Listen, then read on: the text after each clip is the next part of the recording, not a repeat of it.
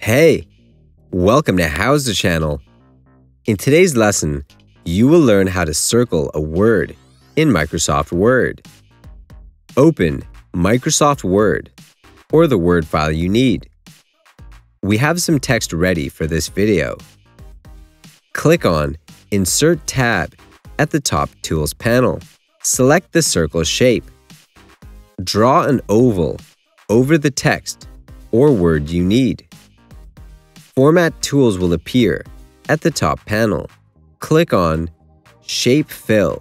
Select No Fill from the list. Click on Shape Outline at the top panel. First, you can change the color of the outline. Click on Shape Outline. Select Weight from the list.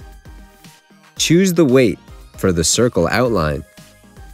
If you pull the corners of the shape, you can change its size or edit its shape.